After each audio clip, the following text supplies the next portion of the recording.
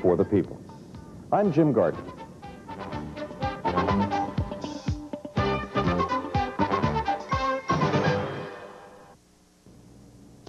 With the parade now over, it is time to turn our attention to the Great American Picnic going on at Penn's Landing by the Philadelphia waterfront. And for that, let's go live to Wally Kennedy and Liz Starr.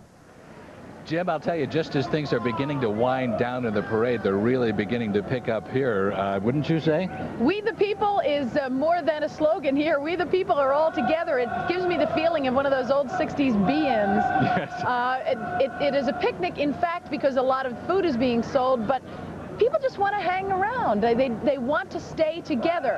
And you can see that it's attracted an enormous number of people. What's interesting at this hour is that apparently a lot of people are either taking off early from work or businesses have decided to close earlier. There's flex True. time. So what you're finding is the people in the suits and the business clothes are starting to filter in among the people who all got rained on, like Wally and me earlier in the day. The other funny thing about we've been talking to people all along is in spite of the fact that all of us took a little rain this morning, the kind of weather it is, we've all dripped dry. yeah, that's true. We're on like our second or third wind as far as the rain goes. But actually, we've been fairly fortunate, I would think, in the last hour and a half, two hours, really not a drop. And a lot of people have come to realize that this is a good day. This is the day to come down for the picnic. A couple of notes that we want to pass on to you. First of all, USA Today is handing out free souvenir editions and balloons to people down here. There's also an interesting uh, sign that is not too terribly far from where we're broadcasting to you. There's a sign that is constantly updating what the current population of the USA is, taking into account deaths and births all on this day. And uh, it's one of the many things, including four different stages where entertainment is being featured, and we're going to be visiting some of those stages. As a matter of fact, right now, Harry Martin is standing by several hundred yards to our left. Harry? Okay, Wally, we are standing by here with uh, two people who, uh, well, it looks like they're chowing down on, on just two of the estimated 60,000 soft pretzels which are going to be consumed over the next four days here. Uh, with me right now, this is Jackie West, and uh, this is Lavinia. Lavinia Sawyer. And this is your first time down here, right? Yes, I've been to the restaurant, the Moshulu, for dinner, but I hadn't walked around on the uh, grounds. Yeah, what do you think so far, Jackie? I love it. I'd spend any Sunday afternoon down here. I love it. I'm having a ball. Really? I What- really am. What's your favorite part? My favorite part is the restaurant. restaurant? All the Restaurant? way up on the top deck. Yeah, I love that. And the soft pretzels, right? Yes. You're of both, course, soft pretzels the best. You're both from Germantown, right? Uh, yes. Yep. Well, I hope you have a good time down here. We are waiting for uh, more musical entertainment. That's going to be coming up. In fact, it's going to be going on all for the next entire four days. Uh, Masala is a, a soft Latin sound that we're waiting to hear, and uh, they're going to be along in just a moment. Let's go and uh, see how Robin Garrison is doing. She is at another section here in Penn's Landing. I think the word is jamming. I think that's what we're doing here on Penn's Landing at the West Walnut stage. The group on stage is a Philadelphia group. They're called Big Push. Now, there's one problem. The ground around here is kind of a parking lot, and it's wet. So people can't sit down, but that's okay because if you're standing up, it's easier to move with the music. Let's listen.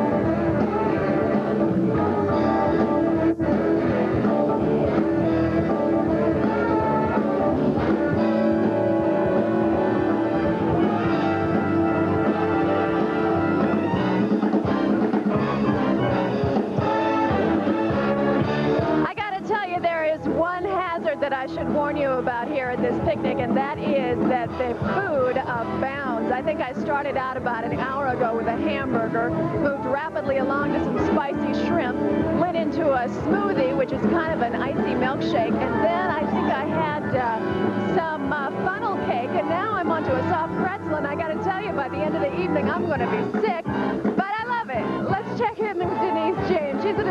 part Penn's Landing now. Well, you know, it always takes people to make a picnic. I think all the people that were lining the Ben Franklin Parkway must have come out here to the Great American Picnic. Joining me now are two people, Stephen, come on over here, who are from South Philly, who are having a good time, as from what I can tell. This is Kathy and Stephen Langendorf.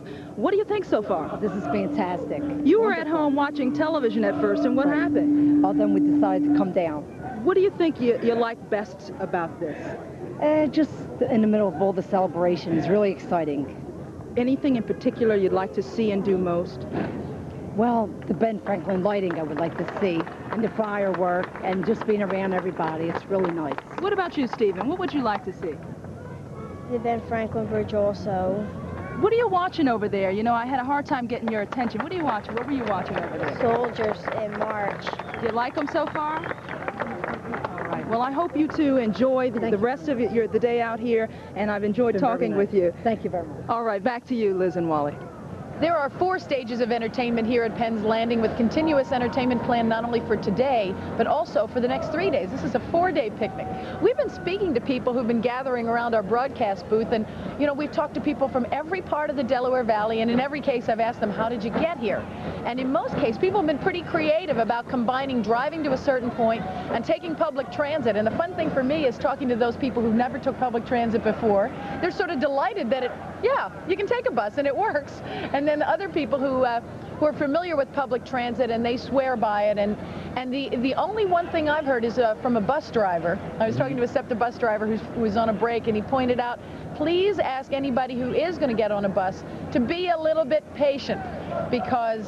Uh, bus routes are being rerouted. The bus drivers are doing the best that they can. Well, you know, Liz, one of the first things that really stood out this morning when I got here about a quarter after eight is the Royal Viking Sky, which is a ship that is so much a part of the celebration, uh, which is going to be, has already been the site of a VIP luncheon, which will be part of the uh, celebration all throughout the day and does not, in fact, leave uh, the Philadelphia port till 2 a.m. tomorrow morning. That is a, something that is obviously getting the attraction of a lot of people. A lot of people want to see it. And as a matter of fact, uh, we can give you a first-hand bird's eye view because Action News reporter Chris Wagner is on board. Chris?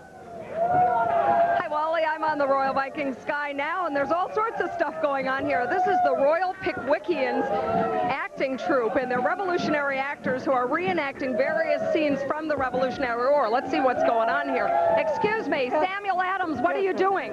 We'll no longer stand for taxation without representation. We're throwing the British our own little tea party.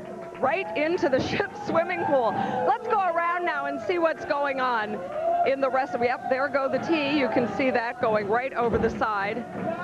There are more revolutionary scenes going on here, which we will see in just a second. There we go. Now there's Ben Franklin. Ben Franklin is trying to fly his kite, but he told me earlier that he's been having a terrible time all day long because there isn't any wind today. So let's move on around and see what else we have here. All right, here we have James Madison. Now this is probably the most appropriate little vignette of the whole day. This is James Madison sitting at the table, and of course he is considered one of the main authors of the Constitution, and what he's doing is writing his part of the Constitution. You're looking at the Coryell's Ferry Militia. That's a Revolutionary War entertainment troupe based on a group from Bucks County that really was in existence during the Revolutionary War. Behind that, you have George Washington crossing the Delaware. That's being reenacted there.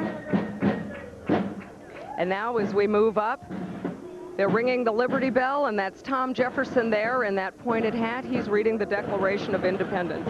So that's a little bit of what's going on here today. If we move down a little bit, there we go. We're looking now at Betsy Ross. Betsy Ross is, of course, making her flag, which she allegedly made. That seems to be in some question these days. That's essentially what's going on here. We have all sorts of little groups going on. They've been doing this throughout the day. They did it in the morning as they were coming in under the Walt Whitman Bridge. I think those of you who started watching us early in the day saw that with the fireboats, with the water and the bunting all over this big ship. And if you look to the stern of the boat, this was going on. All these little revolutionary reenactments were going on. They're doing it again today. They'll do it periodically until about 5 o'clock this afternoon. There's Washington crossing the Delaware. That's obviously something we get to see every Christmas time in the Delaware Valley when that really is reenacted on the Delaware River itself. But for now, it's happening on the Royal Viking Sky cruise ship. Chris, you sure the uh, those boxes of tea, it isn't really chlorine? They, they, they're dumping it in the swimming pool. I thought maybe they'd have chlorine inside instead of tea. No, I. What, Jim? I can't hear you. Yeah, well, it's only tea. Sorry, Jim. And I'm not even sure it's that, to tell you the truth, but it looked pretty convincing while they were doing it. Okay, we'll go back to Liz and Wally now. Just a kind of an interesting uh, footnote. When uh, the Royal Viking Sky, or for that matter, any ocean-going vessel comes into the Delaware, in this particular case, it is not Captain Jacob Loeb who docked the ship this morning at a quarter after nine this morning.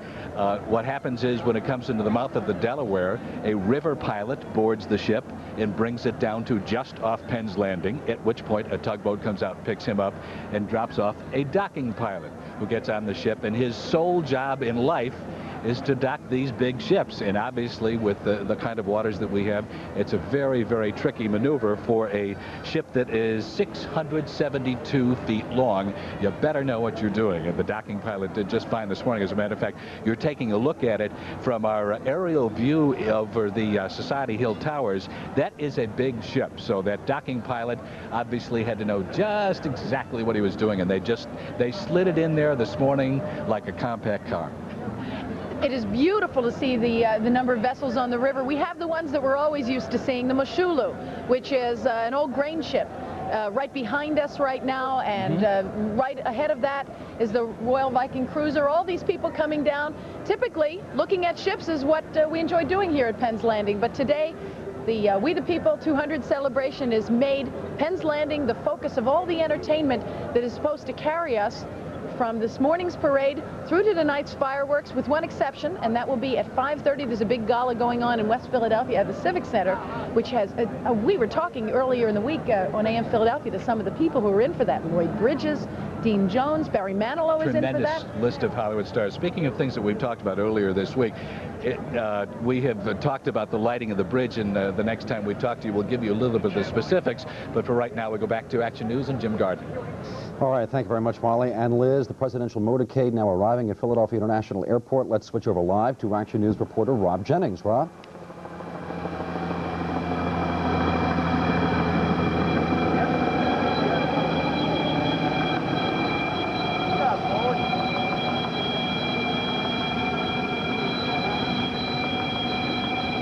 I'm not sure Rob could hear my cue. Uh, if Rob begins to talk, I'll be quiet, but uh, for the moment... Uh... We, we are back. All right, I Rob, hear you, now, go. Jim. The uh, state police helicopter is making its uh, sweep around the area, as it always does, so the president must be in the neighborhood and uh, heading back to Air Force One. We are in the northeast corner of the airport, uh, apart from the overseas terminal over near the river, where some corporate jets are hangared, and that is where Air Force One has been sitting for the past two and a half hours.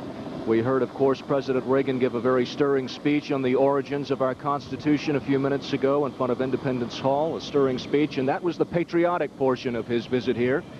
And of course, the uh, political portion came uh, a few minutes later, which we heard just about uh, 30, 40 minutes ago here on Channel 6, the political portion uh, in which he spoke to a, a luncheon campaign uh, fundraiser for John Heinz, who is running for re-election next year. He resorted to his familiar campaign of attacking Democratic economic policies, which led to high inflation, praised John Heinz as a senator who helped Mr. Reagan turn the economy around.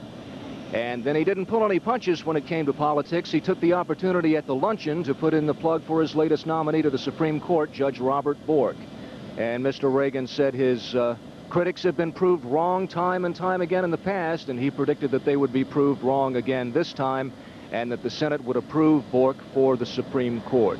He also made three predictions that the next president would be Republican, that John Heinz would be reelected, and that the GOP would recapture control of the U.S. Senate. You see the police motorcycle squad coming in now, and we must assume that the presidential motorcade is right behind them. And in just a few moments here, everything is going to be stopped at this airport. There won't be anything moving because Air Force One will own the airport. Nothing will move on the runways or the taxiways when the president gets aboard this plane.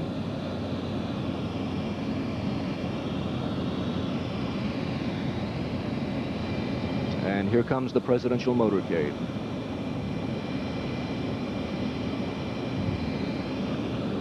On hand to meet Mr. Reagan will be Connie McHugh, who is, of course, running for city council against James Tayoun State Representative George Kenney are standing at the foot of the staircase. And here is the presidential limousine.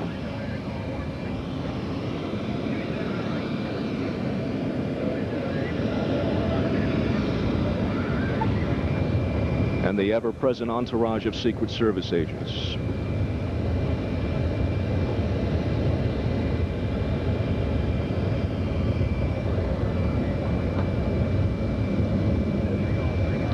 Everybody's in place, they'll open the door and the president will jump out.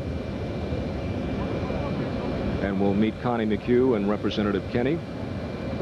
And then within moments, they'll be off to Andrews Air Force Base again. I must say that this really went almost down to the minute. There's Senator Heinz getting out on this side, Senator Specter on the other side with the president. So they will apparently be flying back. None of them staying, staying, staying for the gala tonight. President Reagan is now meeting Connie McHugh and State Representative George Kenney. But I was going to say that this has gone right down to the minute, just as the White House advance team had planned. President Reagan's plane landed it promptly at uh, 11.05. We are about five minutes late right now, but it's gone pretty much to schedule. Rob, Philadelphia Republicans think that Connie McHugh has a good chance to uh, defeat Jimmy Tayoun in, uh, in their race for city council, and uh, uh, it's clear that the Republican organization arranges these salutations so the pictures can be taken of, uh, of local candidates who may not be terribly well known uh, with the President of the United States, clearly not uh, injurious to their mm-hmm. political efforts, and uh, my hunch is that's exactly what's going on right now.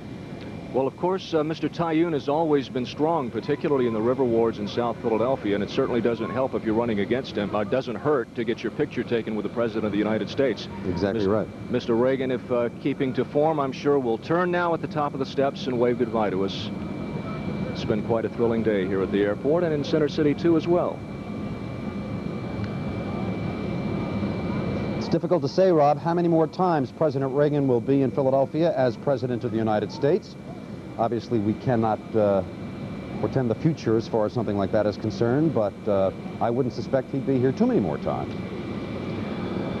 I'll tell you something interesting about this plane now that he's inside. This may be one of the last times, Jim, that we see these particular planes. Actually, there is a an identical plane to this, also known as Air Force One, which uh, serves as a backup. Both of them are in use right now. This one, of course, in Philadelphia, bringing the president here, and the other one, which is 10 years older than this plane, uh, took uh, Nancy Reagan to the West Coast to meet with the Pope. And I said that was uh, 10 years older, but Mr. Reagan uh, likes these planes. They're Boeing 707s, which were the first passenger jets uh, used commercially, but some other people who fly in the planes think that they're uh, too cramped. So Boeing is now building two jumbo jets, which will serve as Air Force One. They're 747s, the jumbo jet, and they should be delivered uh, sometime at the end of next year. This is a fascinating plane, and I wish I had time to, to describe more of it. On top of the fuselage, you can see so many, uh, a string of antennas up there, and you can really uh, from this airplane, anywhere in the sky, you can make a, a, telephone call or a radio transmission anywhere in the world, and they can scramble it for you so that nobody can listen in. It's got very sophisticated communications equipment. The president's quarters are uh, located right under the, the end of the word united there and just at the beginning of the word states, right in front of the wing and then they have a, an oval uh, table where they sit. It's very cramped quarters, but where the president and his advisors can sit around just under the word states, and the press usually rides in the back. Although today, uh, some of them had to take uh, a plane of their own. Incidentally, now as this plane leaves, I don't know whether you're going to be able to see this or not, but here's something to look for as the plane starts to roll away from us. Just below the wings, and just above each of the engines, there is a round cylindrical device which is about a foot in diameter. And as you look at it, it will have a mirrored image. It'll look like you're looking into a mirror. And I asked what those were and was fascinated to learn that they are anti-missile devices right above each engine. And uh, heaven forbid if any kind of surface-to-air missile or air-to-air -air missile were launched at this airplane while it were in the sky, the anti-missile device would send out an energy burst of, of tremendous heat and would create a, a, a, false heat signal which would attract the missile and explode it before it got uh, near the engines. You'll be able to see those hopefully as the plane taxis off. Now, once again, everything is stopped here at Philadelphia International Airport. There are no planes or trucks moving anywhere on the runways or taxiways as Air Force One owns Philadelphia International until it's in the sky. President Reagan's very brief two and a half hour trip to Philadelphia on this historic day is now itself history.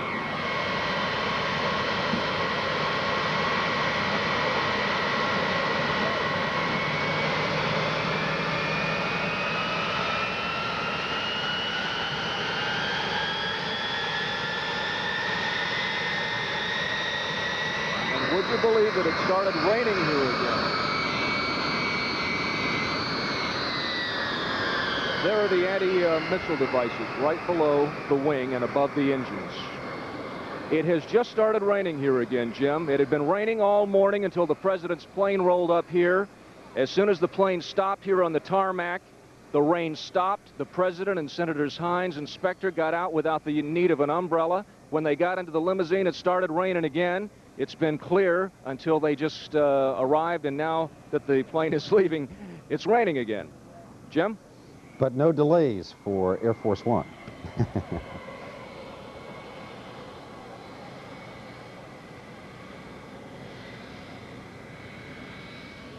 President Reagan returning to Washington.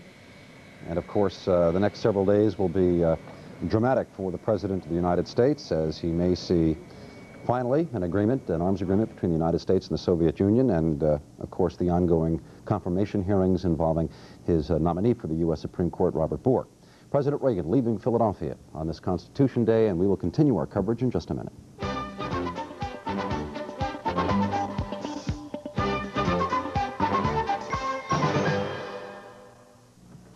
Now there's a barbecue potato chip that's missing something. New Pringles Light Barbecue. Know what it's missing? A lot of the fat you get in their regular potato chips. Hmm. But you'll never miss it.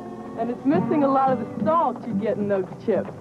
Mmm. But you'll never miss it. New Pringles Light Barbecue in the silver can with so much tangy barbecue flavor. You'll never miss what's missing. Now, McDonald's introduces something. McDonald's introduces... New garden salad! Toss me a salad, a crisp new taste. Toss it for me fresh all day. New McDonald's garden salad. The taste goes any place. It's a good time for the great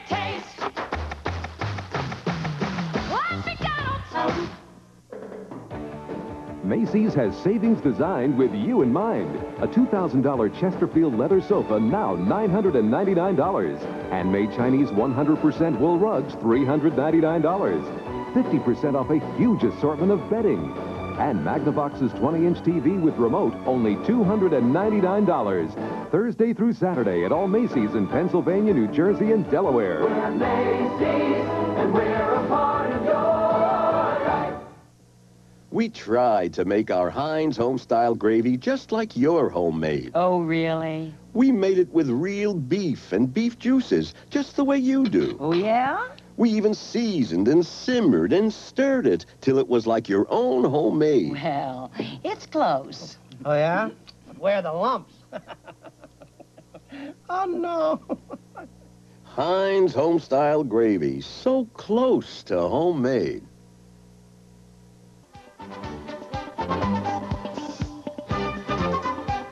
While we have a moment's respite here, we have an opportunity to uh, address ourselves perhaps in a bit more of a substantive way to that which we are celebrating here today, and that is the Constitution of the United States. Uh, our guest in the studio right now is Professor Burton Caine, who is a professor of law at Temple University. And Professor Caine, it strikes me as being almost poetic that as we celebrate the 200th anniversary of the signing of the Constitution, uh, the Senate Judiciary Committee in Washington is uh, staging something of a public seminar on what the Constitution is and, and uh, why it's so important to us uh, in the confirmation hearings of, of uh, Robert Bork.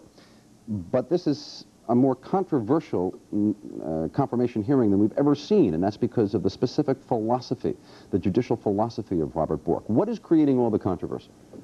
I think the controversy is largely because the Supreme Court itself is evenly divided on major social issues, and that uh, Justice Powell, who has just retired, was the swing vote on those issues.